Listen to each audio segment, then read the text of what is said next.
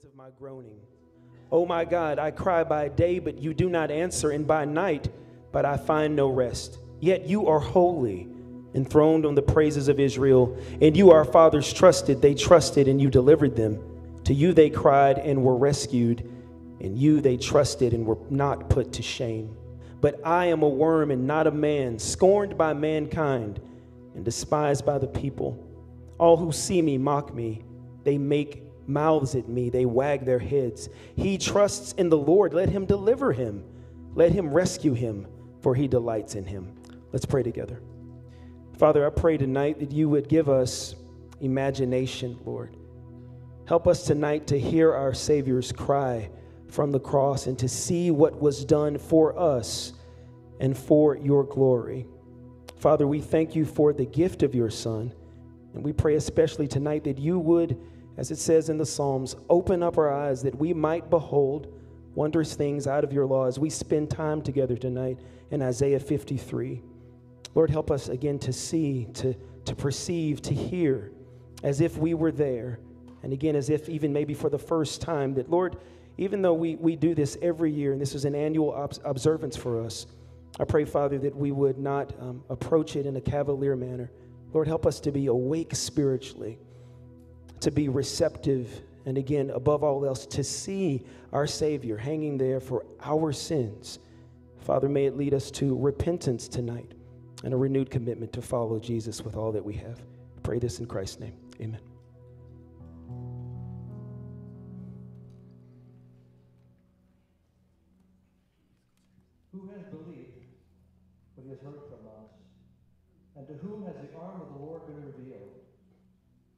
Grew up before him like a young plant, and like a root of dry ground. He had no form or majesty that we should look at him, and no beauty that we should desire him. He was despised and rejected by men, a man of sorrows and acquainted with griefs, as one from whom men hide their faces. He was despised, and we esteemed him not. Would you stand with us?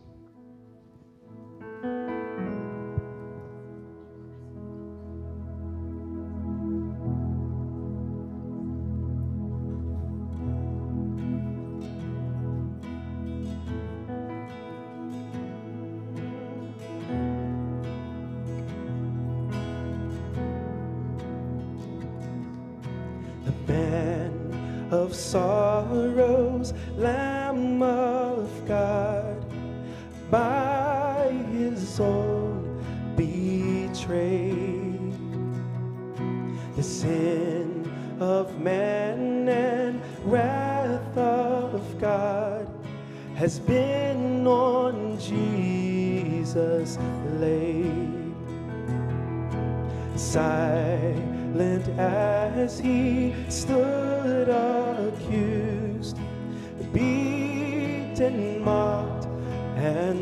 scorned, bowing to the Father's will, he took a crown of thorns. Say, oh, the rugged, oh, the rugged cross, my salvation,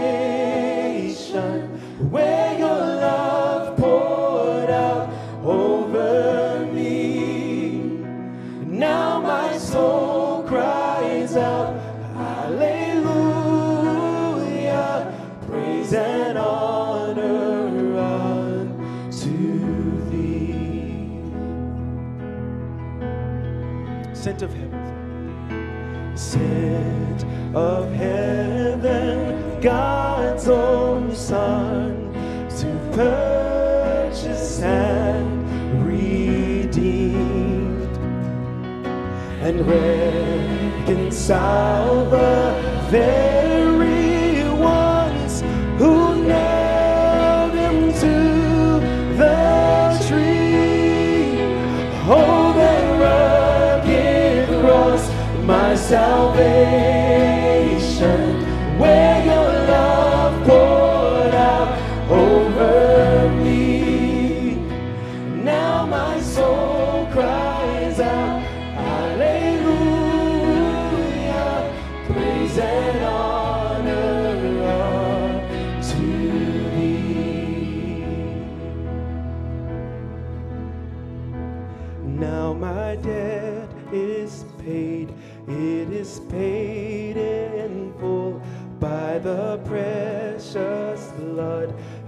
my Jesus spilled. Now the curse of sin has no hold on me. Whom the Son sets free, oh, is free indeed. Say, now my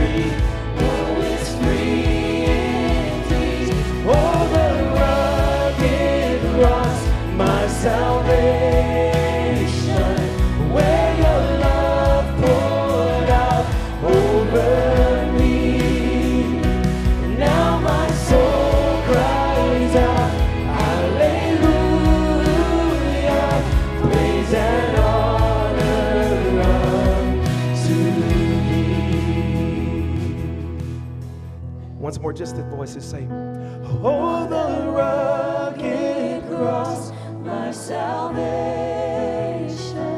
where your love poured out over me. Now my soul, now my soul cries out, Hallelujah, praise and honor unto thee. Praise and honor, say, praise and honor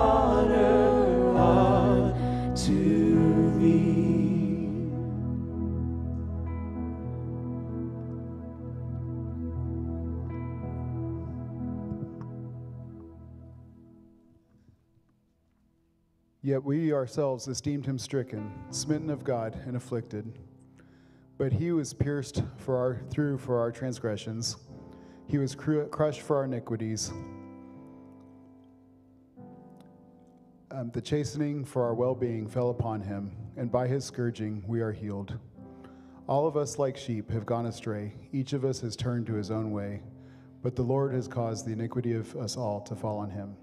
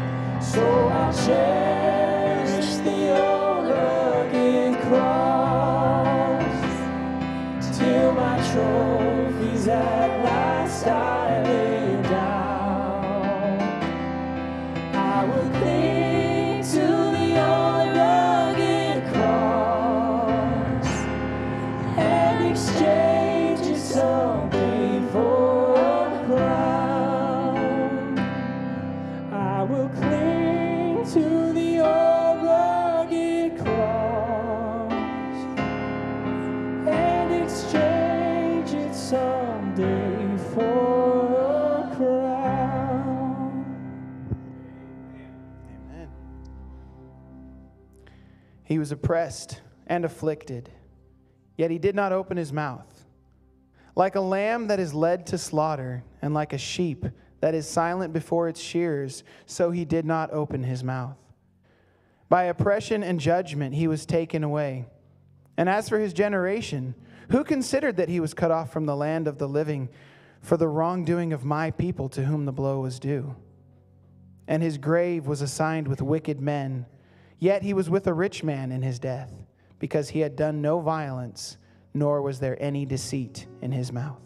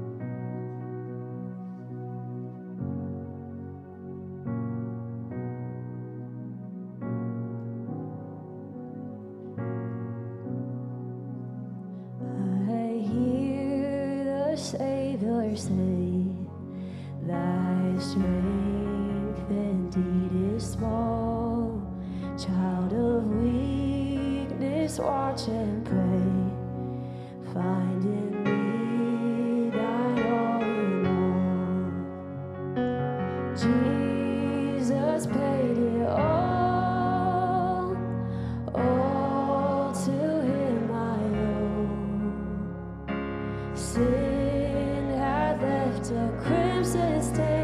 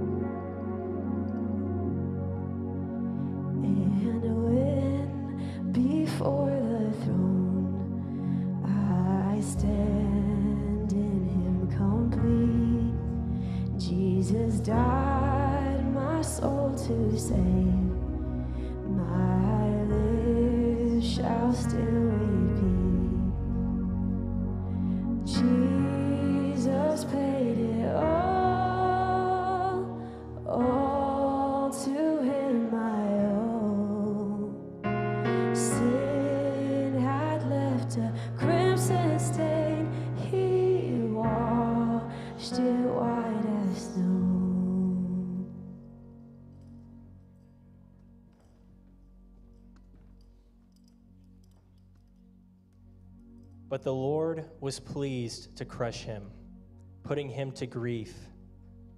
If he would render himself as a guilt offering, he will see his offspring, he will prolong his days, and the good pleasure of the Lord will prosper in his hand. As a result of the anguish of his soul, he will see it and be satisfied. By his knowledge, the righteous one, my servant, will justify the many, as he will bear their iniquities. Therefore, I will allot him a portion with the great, and he will divide the plunder with the strong, because he poured out himself to death, and he was numbered with the transgressors. Yet he himself bore the sin of many and interceded for the transgressors.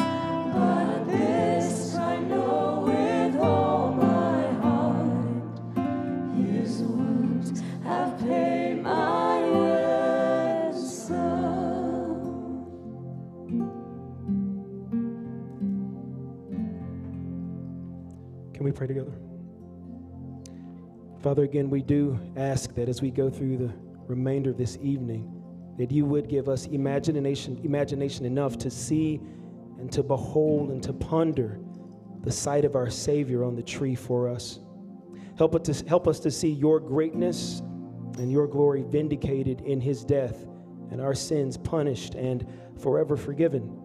And while we cannot be there physically, may our hearts tonight be at the tomb and at the cross. May we wonder, repent, and give thanks for the gift of your Son and his death. We pray this in Jesus' name. Amen. You may be seated.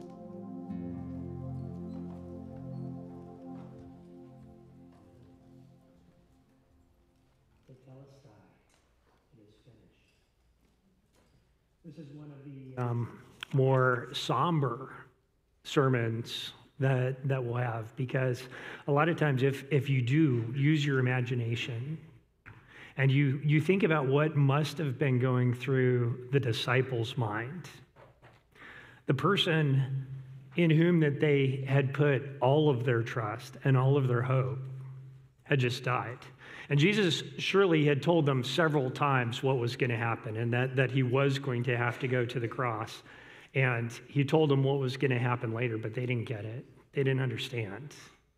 And it seems that over and over again, as Jesus continued to try to remind them, just, just their, their density in comprehending what it was that was happening there on the cross was something that it's, I probably would have been there too, had I been there. This wasn't a mistake. This was something that God had planned long ago. We've been looking at Philippians on Sunday mornings, and in Philippians chapter 2, verses 6 through 8, it talks about Christ and talks about what he did. And it says, Although he existed in the form of God, he did not regard equality with God a thing to be grasped, but emptied himself, taking the form of a bondservant. And being made in the likeness of men, being found in appearance as a man, he humbled himself by becoming obedient to the point of death, even death on a cross. See, this, this was a plan. Jesus was God. He was in the beginning with God, and he was divine. And he took the form of a servant for us in obedience to the will of the Father. And it wasn't a surprise, it was a plan from the beginning. In fact, if, if you look at Acts chapter 2 and you look at Peter's sermon on the day of Pentecost, he talks about this and he says, Men of Israel, listen to these words Jesus the Nazarene, a man attested to you by God with miracles and wonders and signs, which God performed through him in your midst just as you yourselves know. This man, delivered over by the predetermined plan, the predetermined plan and the foreknowledge of God. You nailed him to the cross by the hands of godless men and put him to death.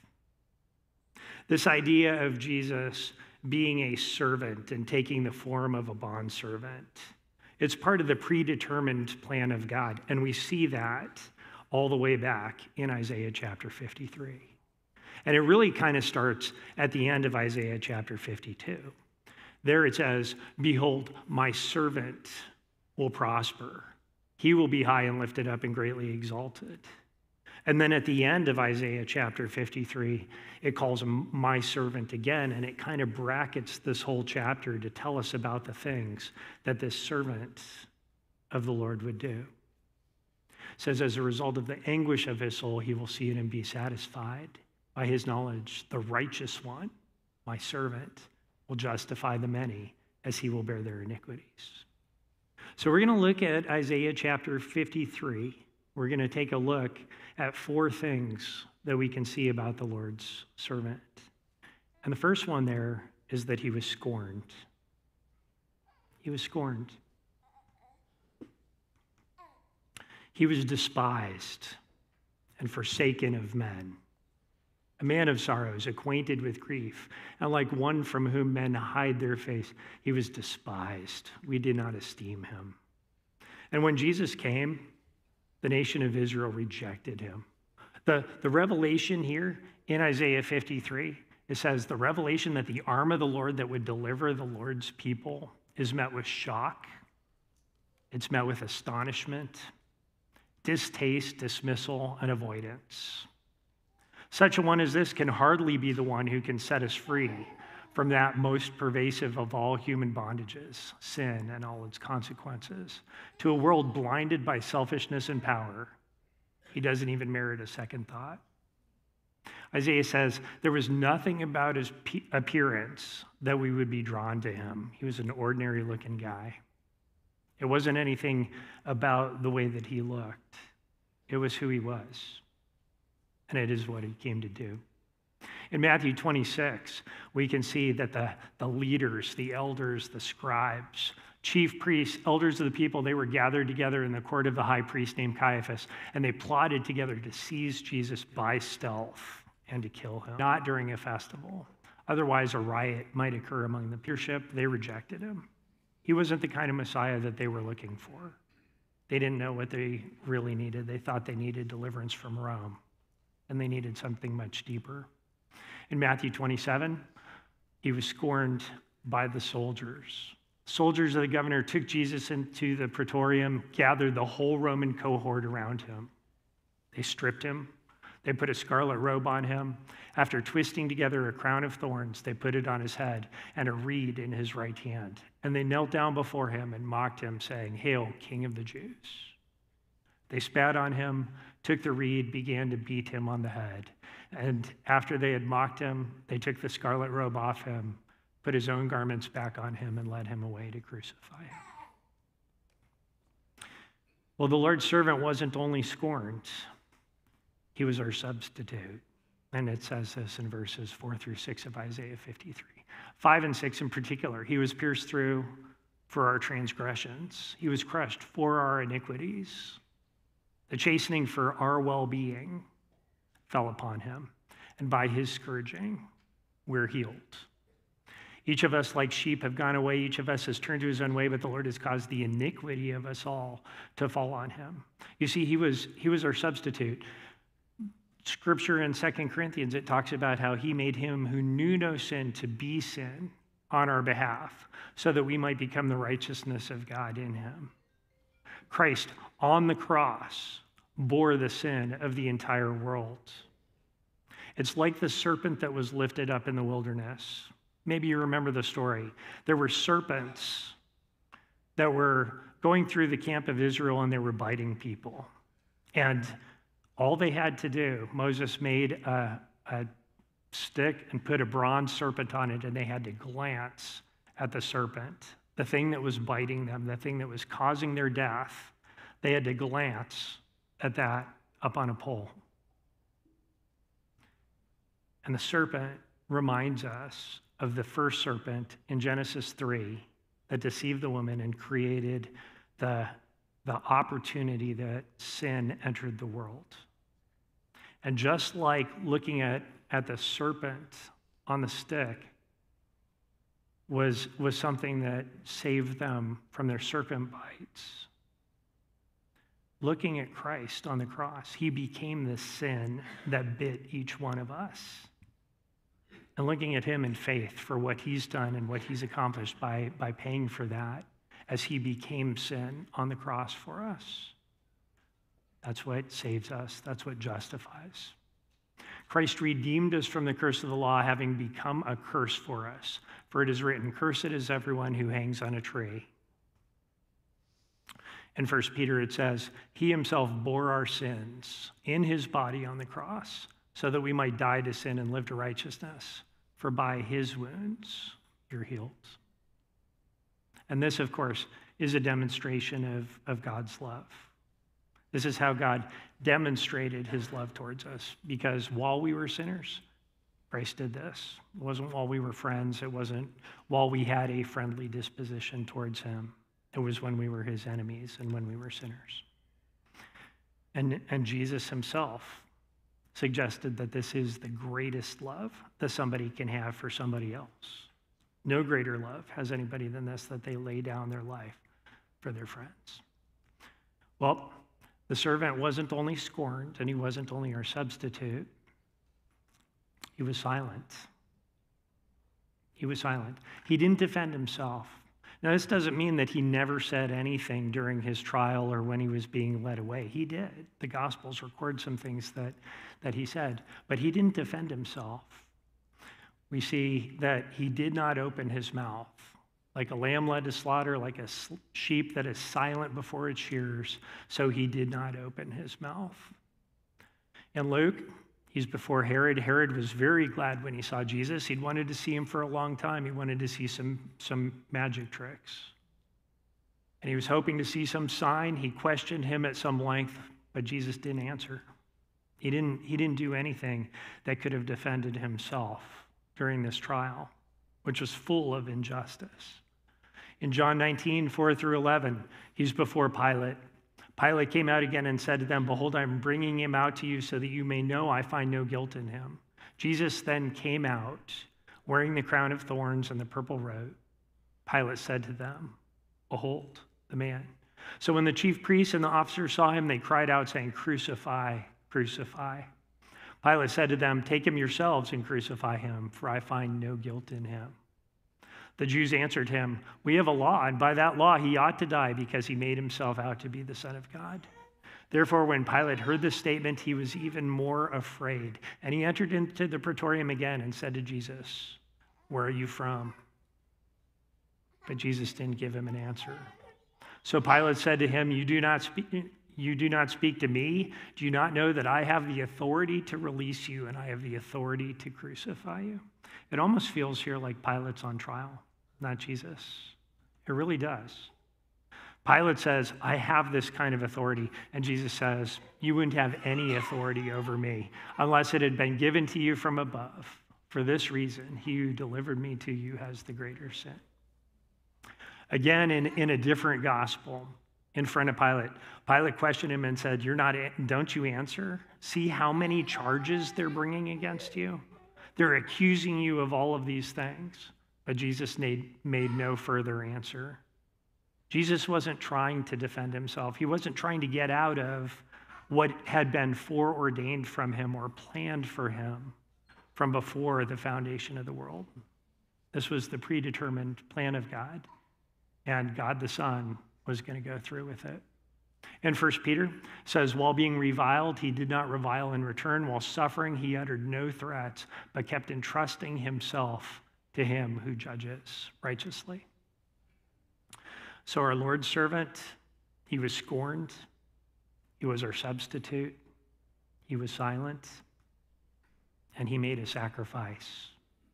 He gave of himself.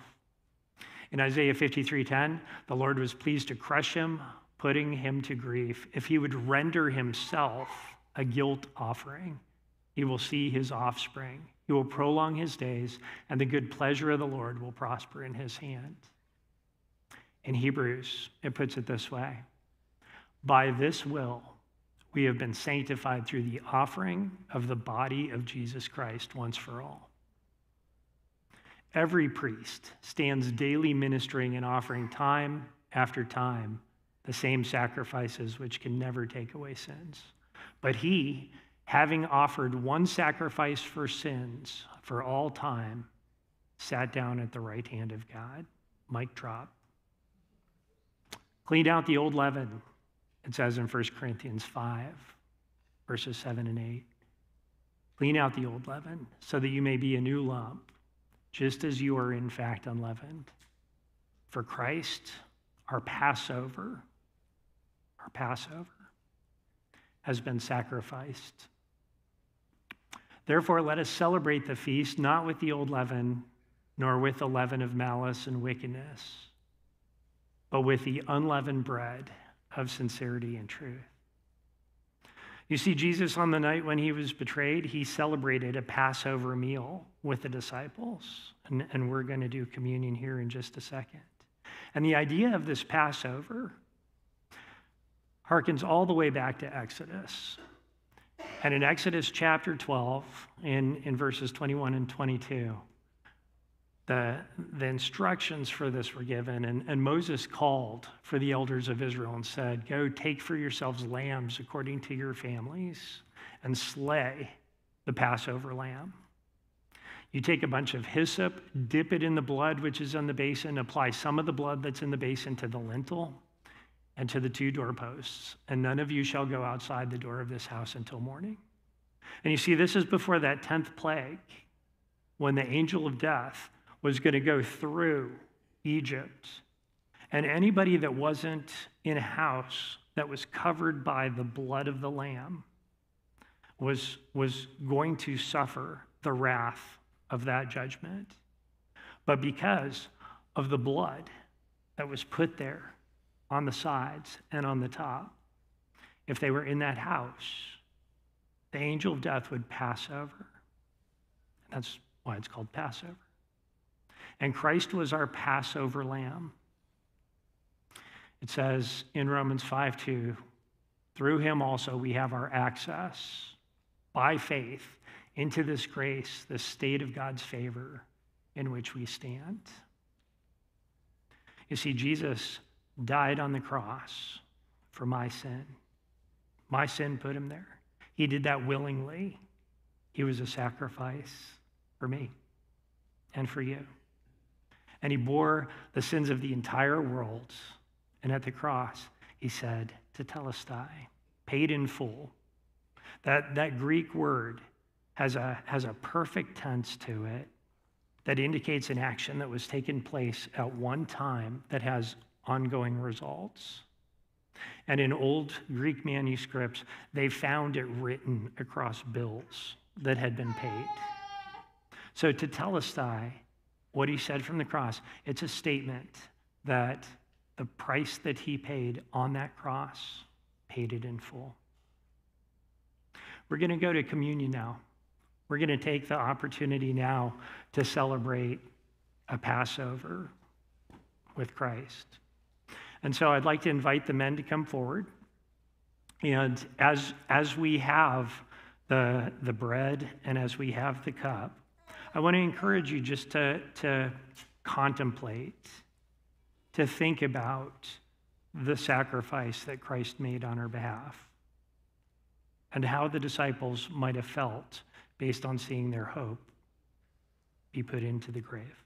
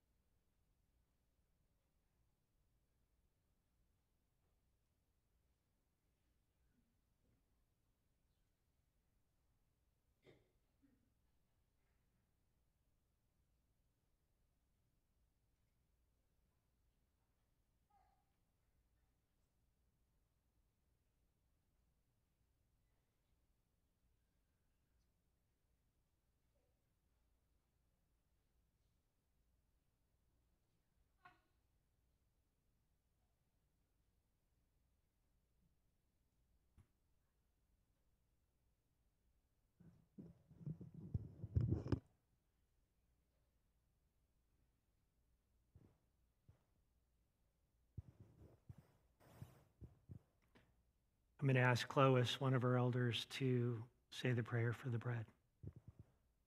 Holy Father, as we come before your presence, we come to worship you. We come to give praise to your great name. We come to bow before you and recognize who you are, the eternal God. We stand in amazement. We stand in wonder that you would so love your fallen race that you would be willing to make provision by giving your only Son to die in our place as our substitute. We're honored, Lord. We're privileged to be children of God.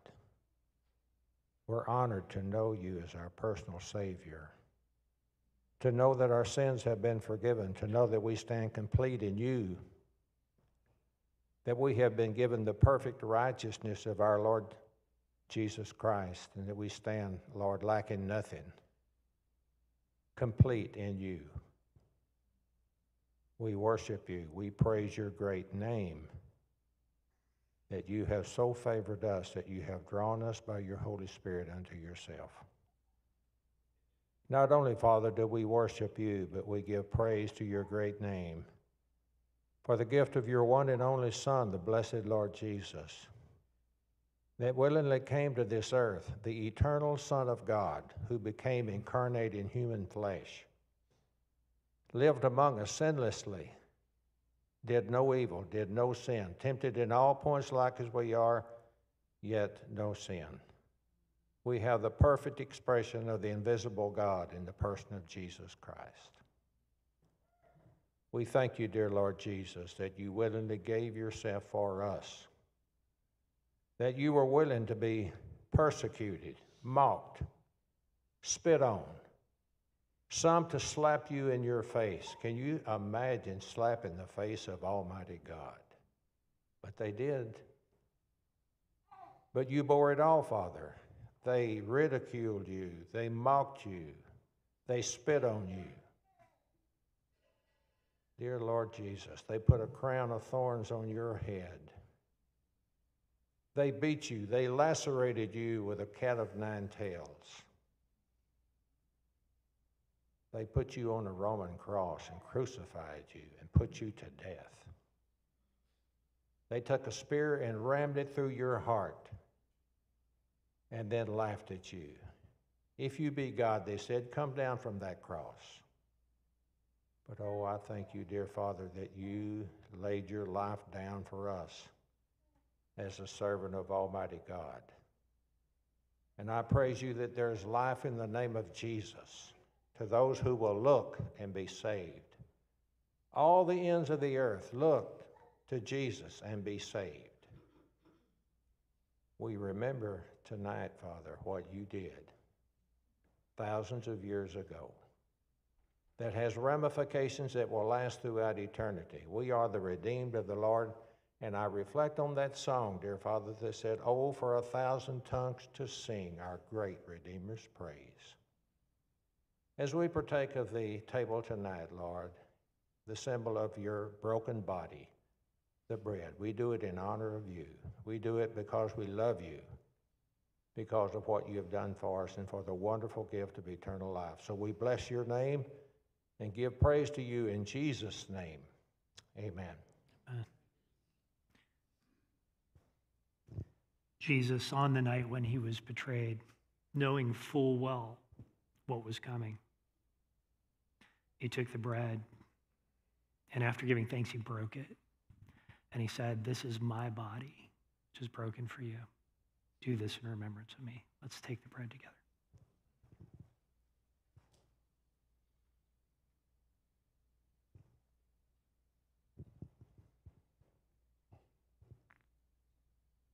David's going to say the, the prayer for the cup. Yeah, let's pray. Lord Jesus, we've heard so many wonderful things about you tonight.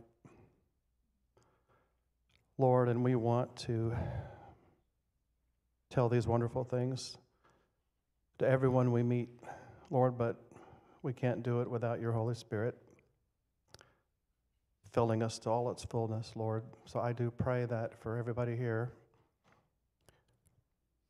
Lord, this is too good to, to keep hidden. This light is too bright, Lord, to keep under a lampshade.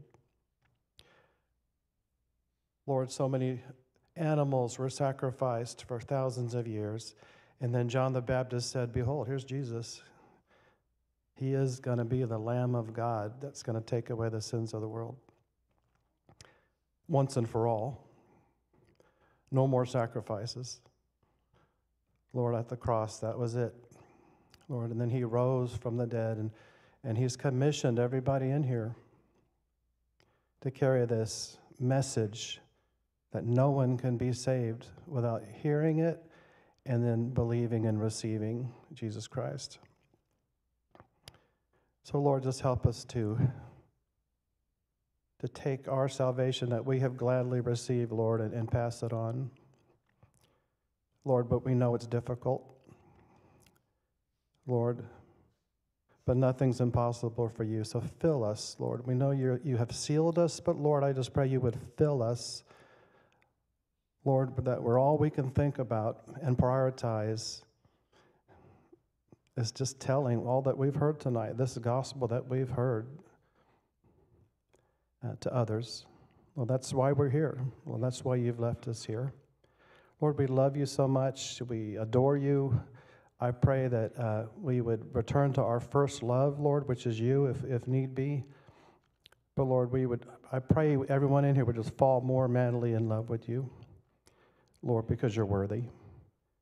Just thank you now for this cup. In Jesus' name, amen. Amen. Then Jesus took the cup and he said, This cup is the new covenant in my blood. Let's drink the cup together.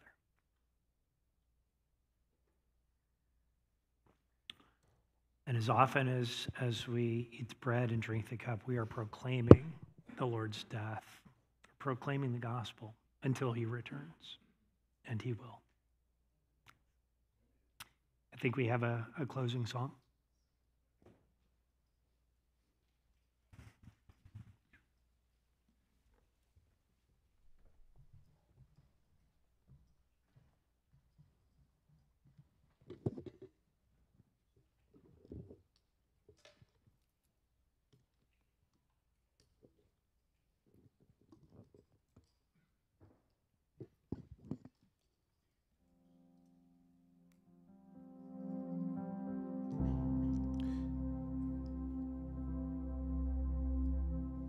As we close, can we stand together?